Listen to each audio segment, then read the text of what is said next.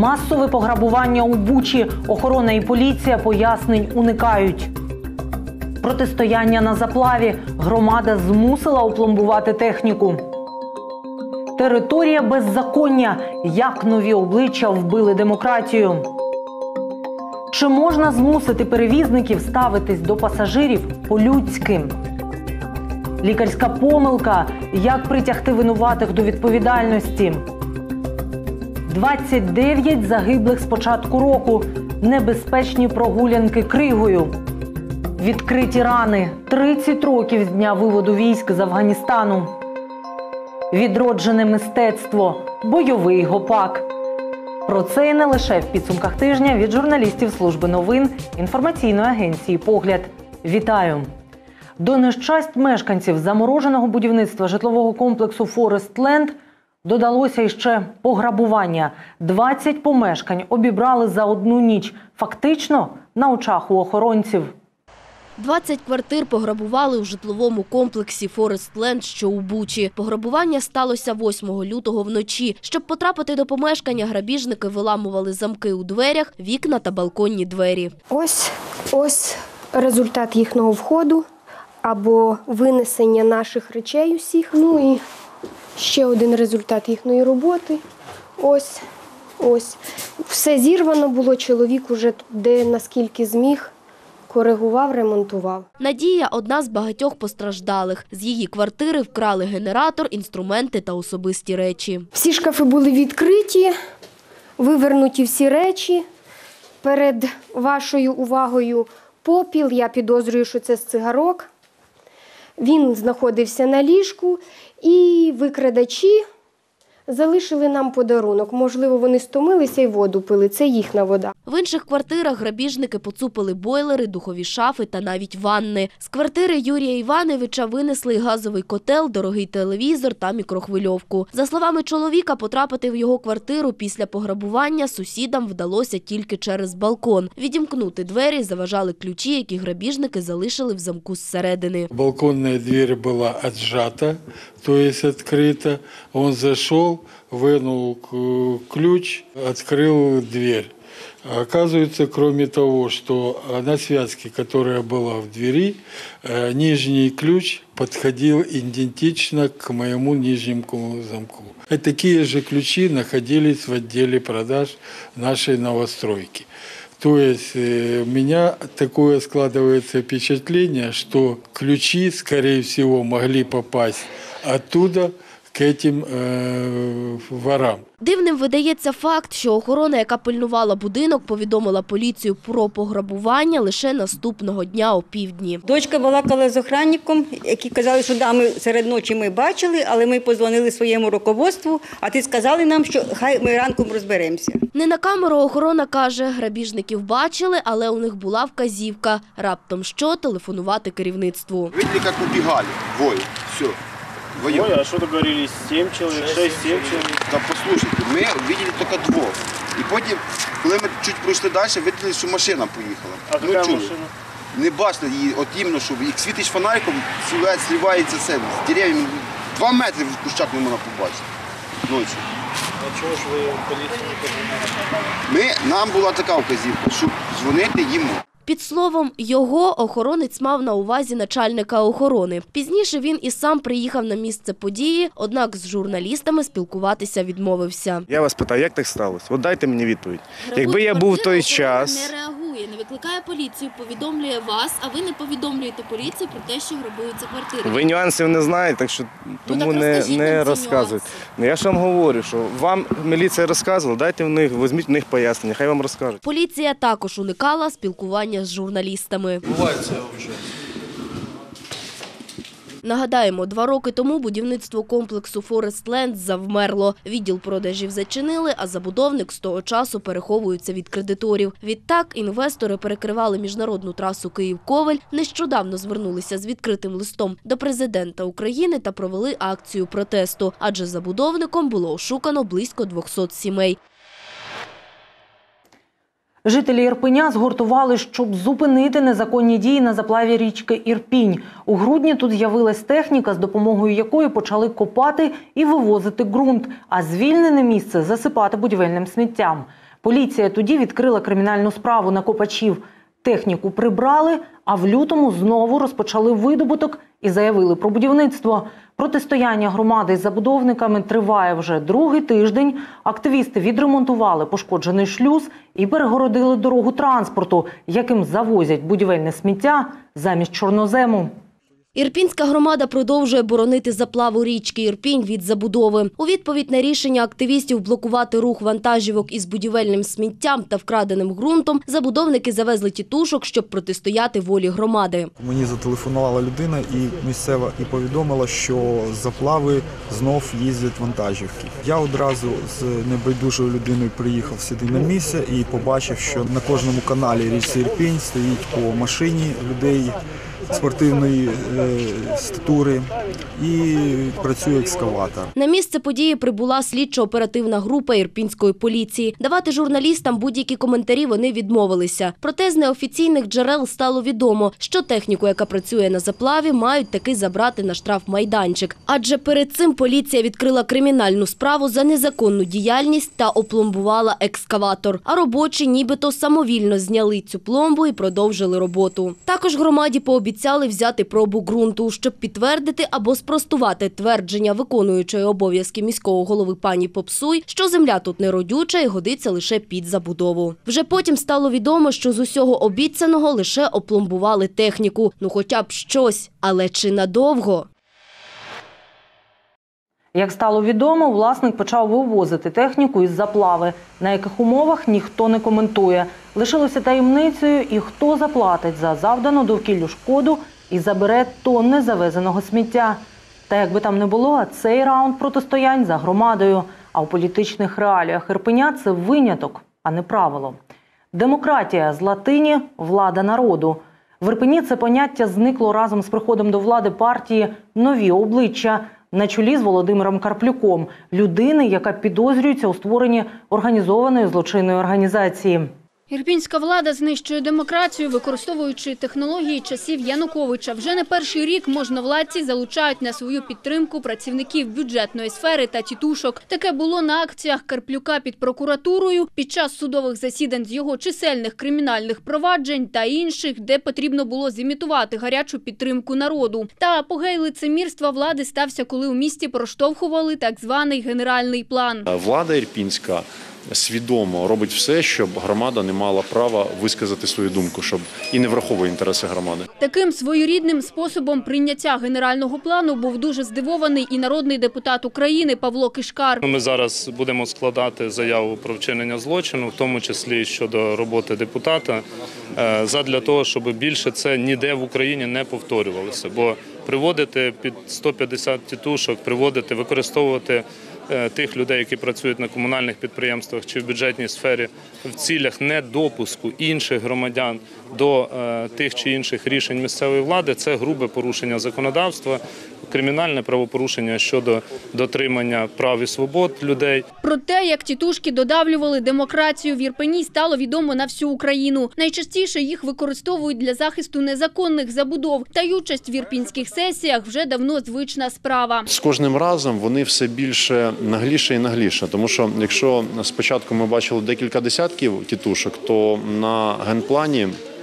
На громадських слуханнях і на сесії, де затверджувався генплан, було мінімум 130 тітушок, які вже не просто стояли і фізично не допускали людей, які випихали людей, викидали людей з залу, реально штовхалися, билися.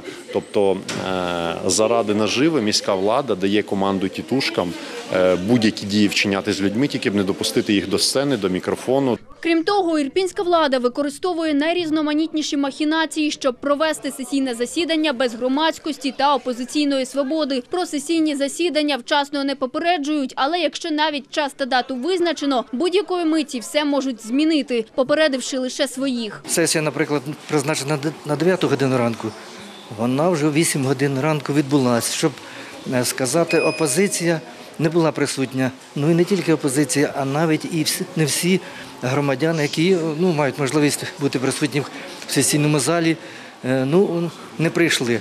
Якщо ж навіть вдається потрапити на сесійне засідання, це мало що змінює, адже опозиційним депутатам та представникам громади, як правило, надають навіть підійти до мікрофона, щоб висловити свою думку або внести пропозицію. Проекти ухвал незгодним із рішенням провладної більшості доводиться чекати роками. Коли ми просимо надати якісь копії рішень чи додатки до е, ну, сесійних рішень, їх нам по різних причинах е, не надавали. Використовуючи адмінресурс, ірпінська влада створює ілюзію того, що всі їхні незаконні дії підтримує громада. В них дуже е, працює піар-машина, і вони дійсно роблять гарну картинку для саме для своїх виборців, для людей, які їх ще підтримують, ще поки що підтримують, бо з кожним днем таких менше і менше. Після порушення прав громади в Ірпені на прийнятті генерального плану, та й не тільки, було подано сотні звернень до правоохоронних органів та в суди. Але поки що українська Феміда глуха, сліпа і німа. Подейкують, що Карплюку вдалося знайти покровителів на самісінькому Олімпі, які віддали Ірпінь на розграбування. Адже ж вибори на носі, а гроші потрібні всім. На ходу випала з автобуса школярка. Пасажирці затиснуло руку дверима і протягло на очах у переляканої доньки. Це все про ірпінського монополіста АТП 13250. І діється таке, як виявилося, лише тому, що ми з вами дозволяємо.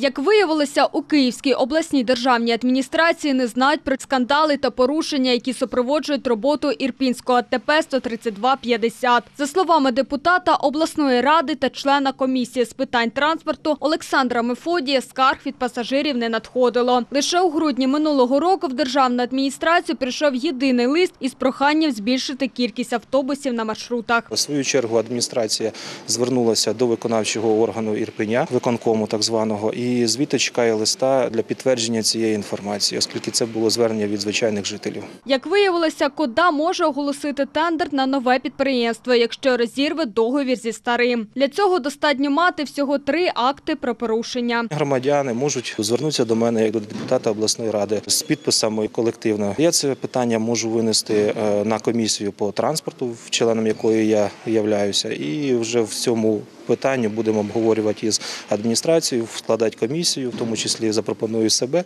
Будемо виїжджати і е, фіксувати ці порушення. Щоб прибрати монополію АТП 13250 потрібні нові перевізники, після чого буде оголошено конкурс. Ірпінь недалеко, скажімо чесно, знаходиться від Києва. На цьому маршруті може також якийсь київський перевізник зайти і працювати. Депутат обласної ради Олександр Мефодій пояснив, як проводиться розрахунок тарифів на перевезення пасажирів. З його слів, ціна встановлюється кожним перевізником індивідуально, на що вони мають повне право. З 2015 року, коли е, уряд Яценюка відмінив державне регулювання, ми маємо те, що кожен перевізник підраховує свою вартість і її, як би сказати, вкладує вкладає в саме формування тарифу. Через те ми бачимо, що різні перевізники по-різному возять і різна якість надання цих послуг. Отже, депутат радить жителям не мовчати, а в разі виявлених порушень звертатись зі скаргами на адресу Київської облдержадміністрації. У ній потрібно вказати, яке було порушення, його місце та дату, а також прізвище, місце проживання та контактні телефони свідків. Краще, якщо це буде колективна заява. Чим більше підписів, тим скоріше будуть покарані винуватці.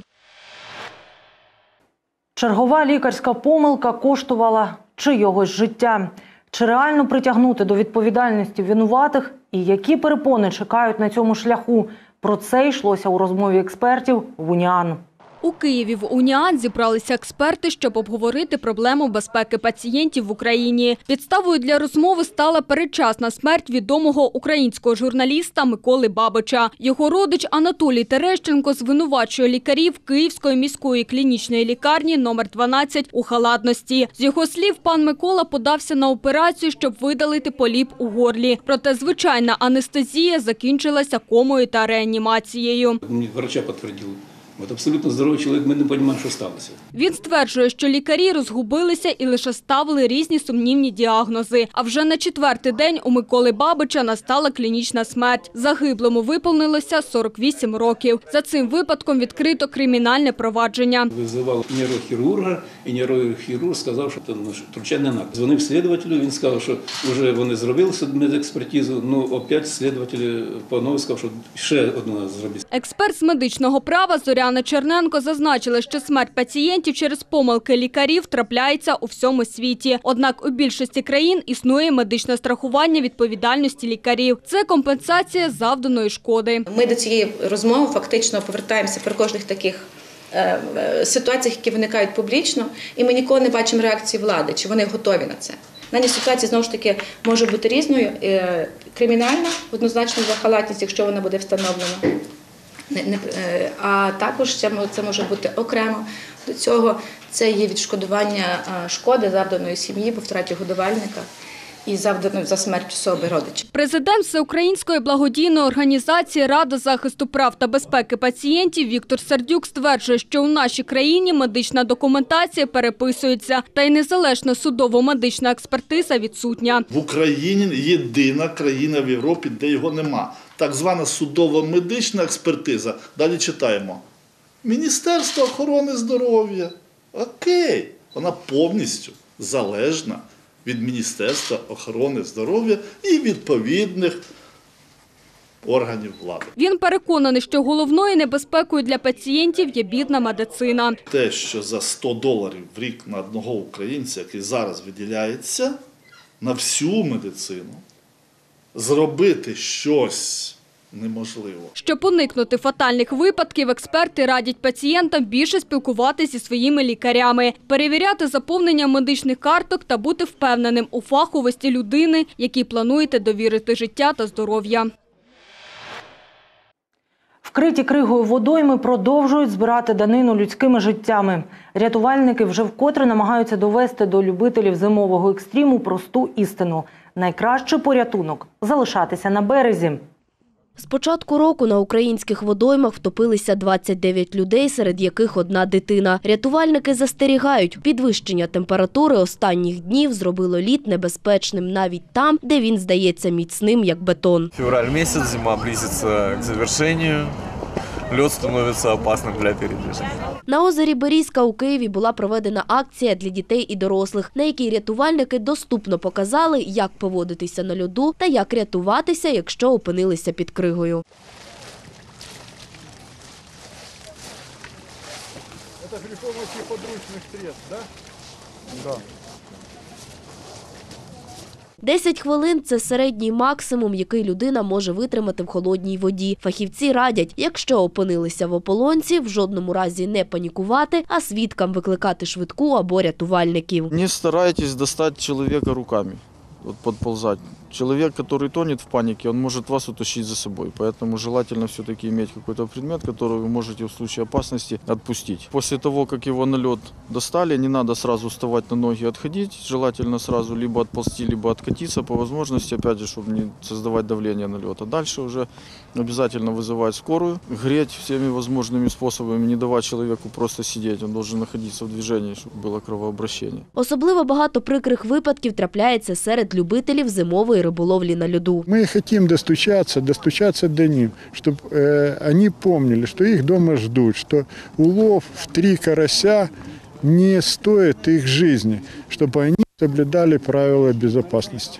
Але жодне застереження ще ні разу нікого не змусило покинути улюблений вид відпочинку. Голова Асоціації рибалок України Олександр Чистяков застерігає: правильно обирайте місце для риболовлі. Сейчас э, просто обозначены места, так называемые зимовальные ямы, там, где рыба массово скапливается, это как бы на зимних квартирах, и она там э, зимой отдыхает. В таких местах э, запрещено рыбачить. Отмечены эти места на картах э, областных э, рыбохран по всей стране. Тож рятувальникам лишається ще раз нагадати: кожен, хто виходить на лід, ризикує стати частиною сумної статистики. Досвід і самовпевненість не завжди допомагають. 30 років з дня виводу радянських військ з Афганістану, а перед тим 10 років війни, яка зібрала страшний ужинок із понівечених людських доль. Тодішні кремлівські старці переконували, що так треба для батьківщини, і вони йшли на чужу землю і помирали, вірячи у міфічний інтернаціональний обов'язок. У Бучі відзначили 30-ту річницю виведення війська СРСР з Республіки Афганістан. З кожним роком все далі і далі історія віддаляє нас від кривавих років афганської війни, але не вщухає біль від втрат на чужій, потрібній лише купці пристарілих радянських політиків війні. Афганістан це біль. 30 років пройшло після афганської війни, але на превеликий жаль, ті, хто загинули в Афганістані, вони не були останніми. Щоб війна закінчилась на сході, і наша Україна завжди буде процвітати. Я всіх вітаю із цим днем. Бажаю всім здоров'я. Коли буде здоров'я, ми будемо мати все, що побажаємо. Вітаю всіх! Слава Україні! 30 років тому тисячі матерів, у яких підростали майбутні солдати, з полегшенням зітхнули. 15 лютого 1989 року останній воїн перетнув афгансько-узбецький кордон біля містечка Термес. Але нещодавно на українську землю прийшла нова війна. Багато воїнів афганців під час Революції Гідності далі стали на бік захисту нашої держави, на те, щоб жити у вільній, демократичній, головне європейській країні. Згодом відбулася війна на сході України. Афганці, ці патріоти, герої і далі мужно захищали схід нашої держави. Вічна пам'ять та шана тим героям. З нами Бог, з нами буде перемога. Хвилиною мовчання присутні вшанували пам'ять тих, хто віддав життя у запеклих боях в афганських горах та донецьких степах. В Афганістані воювало 120 тисяч українців, з них 3360 загинули. І майже стільки вже полягли на Донбасі, захищаючи рідну землю від агресора. Тож червоні гвоздики й троянди на холодному граніті – незмінні символи пам'яті про тих, хто до кінця виконав свій солдатський обов'язок. Цими днями дивіться на нашому каналі спогади про війну в Афганістані в програмі Актуальне інтерв'ю, а також фільм Воїни проти війни. Ми продовжуємо підсумки тижня і далі у випуску. Як прокинутись знаменитою? Сучасна казка про попелюшку. Аукціон картин, продаж робіт ірпінських митців. Чужої біди не буває. Як допомогти Сніжані Барило? Шлюб у день святого Валентина. Історії закоханих. Бойовий український танець. Відроджений гопак. Дівчинка мріяла про сцену і славу, а працювала офіціанткою. Її терзали комплекси. Співати наважувалася лише у своїй кімнаті, коли ніхто не чув. Але одного разу вирішила досить. Зробила над собою зусилля і прокинулася знаменитою. Перший вихід на сцену і перша маленька перемога. 19-річна Христина Сквірська з Вишгорода ніколи раніше не співала на публіку, але стала учасницею популярного вокального шоу Голос країни. Який красивий голос, такий ніжний. Виступ розвернувся зірковий тренер Дмитро Монацік. Пісня Христини розчулила його до сліз. Перш за все, це ваш тембр. Це саме те, що я шукаю у команду. Якби янголи вміли співати, я впевнений, вони вміють. У них були б отакі тембри. Дякую. Христина розповідає, хотіла потрапити в команду саме до нього. Я не, не одразу помітила, що до мене хтось повернувся. Я просто далі співала. Вирішила, що повністю віддамся пов- повністю пісні, е, розкрию душу. І тільки вже коли закінчила співати, п- під кінець пісні я помітила очі свого тренера, який до мене повернувся. Участь в голосі для неї перший крок на шляху до мрії. Дівчина працює офіціанткою. До того Христина співала лише у власній кімнаті. Про своє захоплення не розповідала навіть батькам, а ще боролась із комплексами і зайвою вагою. Найбільша складність е, це була невпевненість у собі. Звісно ж, це через це я не ходила ні на які шоу, кастинги раніше, не намагалася щось робити, комусь співати. Зараз зрозуміла, до своєї мрії потрібно йти. У мене тато професійний музикант, у нього була своя група. Я теж знала, що я хочу співати, але ми ніколи не приділяли цьому увагу, ніколи не віддавали мене мене до вчителів по вокалу. Але потім, вже коли я виросла, десь років 18, я вирішила, що якщо я маю талант, я це відчуваю серцем, душею, то мені не потрібно е, приховувати. Після виходу програми з її участю в ефір для Христини відкрилися нові можливості. Вона ж продовжує працювати над собою та поєднує участь в проєкті з роботою. І впевнена, попереду ще багато цікавого. Далі буде тільки все починатися, і звісно, це це такий дуже великий поштовх, е, який дав мені дуже багато і мотивації, і впевненості в собі, що я можу. Зараз Христину підтримують сотні мешканців Вишгорода, хоча ще кілька місяців тому дівчина про таке і не мріяла. Листи підтримки вона отримує і в соцмережах від зовсім незнайомих людей. А близькі та знайомі з нетерпінням чекають появи Христини Сквірської у новому випуску проєкту Голос країни. Шанувальникам прекрасного радимо у вихідні навідатися до Ірпінського краєзнавчого музею. Поза правилами тут можна буде не лише помилуватися експонатами, але й придбати вподобані. В Ірпінському історико-краєзнавчому музеї відкрився благодійний розпродаж живопису. Оці охочі можуть переглянути та придбати картини шести відомих ірпінських художників. Роботи виконані у жанрі пейзажу та натюрморту, а їх вартість сягає від 200 до півтори тисячі доларів. 30% виручених коштів лишаться на потреби музею, а 70 – художнику. Картини дуже красиві, бачите, художники професійні. От, і людина таким чином допомагає закладу культури музею, допомагає художникам і залишає щось хороше собі. З радістю надав свої роботи відомий художник та педагог Сергій Перехожук. Митець не тільки пише пейзажі, а ще й реставрує та розписує церкви. За фахом я художник-монументаліст. А живопис, пейзажі це така невід'ємна частина моєї творчості, яка мені допомагає в основній роботі.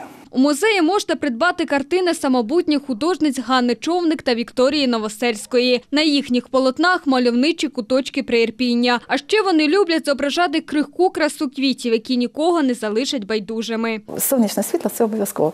Виходить сонце і все засяяло, все заграло, все ожило. І ось це мене може надихає. Проще, конечно, натюрморты. Поставил натюрмортик себе, ни от кого не зависишь, ни от погоды, ни, ничего, только освещение, и пишешь. Мешканці Ірпеня відразу оцінили ідею, впевнені, що таку красу варто побачити на власні очі. Решили с внучкой прийти посмотреть. И мы очень восхищены работами, какие здесь у нас талантливые художники. Просто надо больше и больше освещать. Ця картина мені дуже подобається, вона дуже реалістична і дуже гарна. Я би її е, обов'язково купив і прийшов би сюди своїми е, однолітками і показав би їм е, цю красу. Картини у музеї виставлятимуться до 21 лютого. Потім їх перевезуть до університету Державної фіскальної служби України, де 24 лютого відбудеться великий благодійний аукціон картин. Біду гукати не потрібно, сама прийде. Як прийшла в родину Барил з Бучі. Але до найстрашнішого ще є час, ще можна встигнути порятувати найдорожче – єдину доньку. Але без допомоги чуйних людей це неможливо. Вашої допомоги потребує Сніжанна Барило з Бучі. У дівчини виявили рак лімфоми. Його ще називають лімфома Ходжкіна. Я випадково рукою знайшла у себе на шиї е, лімфовузли. Пішла до терапевта в нашу амбулаторію. Він сказав: ну, мабуть, вас просто протягнуло, якби нічого страшного. Виписав мені для лімфовузлів щось, але воно не пройшло через дві неділі. Е, Потім ми поїхали, зробили рентген. І вже було видно, що з одного боку на легенях теж збільшені лімфовузли.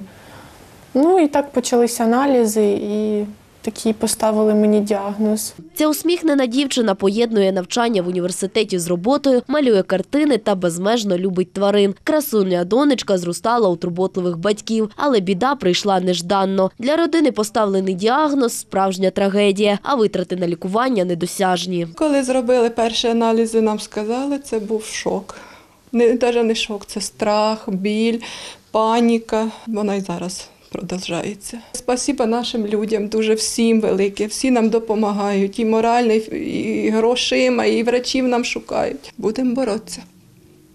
Дитина в нас одна. Це наше життя, крила, серце це все наша дитина. Зі збором коштів родині частково допомагає благодійний фонд Добре діло. Вже вдалося зібрати 16 тисяч гривень. Снежана написала мне в а, вот, написала, обратилась к нам в группе, рассказала о своей болезни, вот, и на, написала о предстоящем дорогостоящем лечении. На первую химиотерапию уже собрали, в принципе, ждем э, счет с клиники, готовы оплатить первую химиотерапию, также счет про- продолжаем сбор, Э, хотим полностью закончить это лечение и полностью курировать Снежану. Зараз для Сніжани та її родини надзвичайно важлива будь-яка підтримка. Долучитися і допомогти дівчині може будь-хто небайдужий. Куди надсилати кошти, ви бачите на своїх екранах. Кожна перерахована вами гривня може стати рятівною. А зараз про приємні сюрпризи та несподіванки, які підготував проект Кохання поза часом у День закоханих. Весільний ажіотаж у день закоханих у Вишгороді молодят одружуватимуть до півночі. В цей особливий день бажаючих побратись зазвичай більше ніж в будь-який інший. Ірина та Руслан неспроста прийняли рішення одружитись саме сьогодні. И решили в этот праздник, такой 14 февраля, в День влюбленных, скрепить наши судьбы. Этот праздник, наверное, для всех очень знаменательный. Все его празднуют. Ну, кто верит, конечно, в любовь, то и я думаю, что в этот момент, в этот день, это хороший праздник, для того, чтобы расписаться. Вони познайомились чотири роки тому в кав'ярні. Випадкова зустріч переросла в міцне почуття. Зараз не уявляють життя один без одного. Непредсказуемая девушка, ну, я ее очень люблю, очень уважаю. Для меня он самый лучший мужчина, я его люблю, поэтому тут не надо слов. Вітаємо! Вітаємо!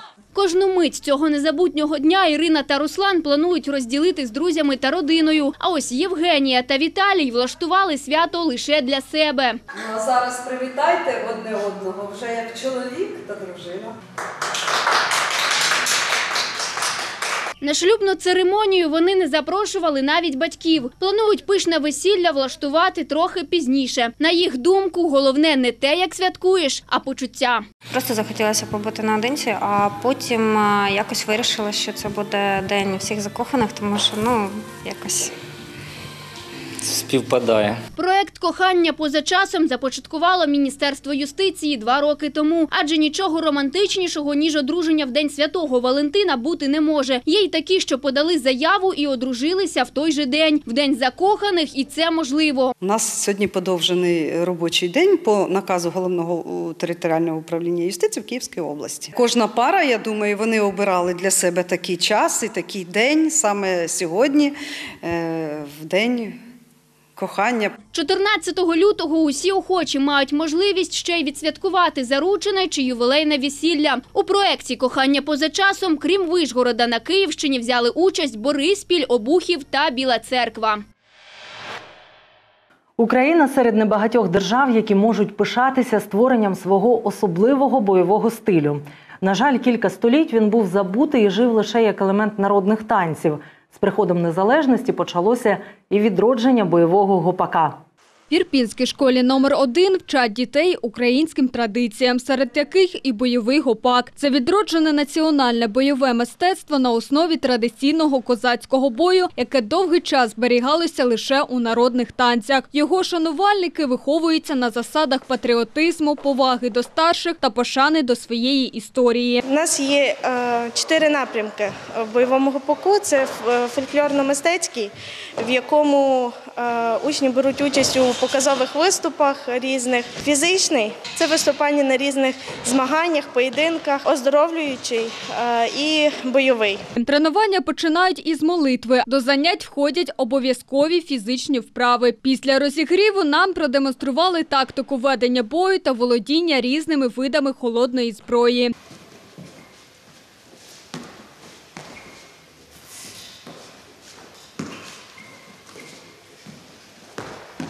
Деякі вихованці вже мають досвід освоєння національного бойового мистецтва. Вони переконані, що такі вміння змінили їхнє життя на краще. В класі колись мене зачіпали, якби була така тихенька, ні з ким не спілкувалася. А після того, як почала займатися бойовим гопаком, якби до мене стало почали відноситися з повагою. Мені подобається це е, те, що це патріотичне виховання йде, і я дізнався більше для себе. І по- ну, помогло тим, що тут багато ну, стало багато друзів, побратимів, які мене підтримують. А ось найменший учасник переконаний, що саме ці знання необхідні йому для здійснення мрії. Коли москалі билися проти козаків, козаки волхви е, своєю думкою е, пугали москалів, і вони здавалися. Тож школа бойового гопака запрошує на навчання всіх охочих віком від 4 до 60 років. Адже українські козацькі традиції повинні жити і розвиватися. Шануємо свою історію та поважаємо звичаї. До зустрічі за тиждень.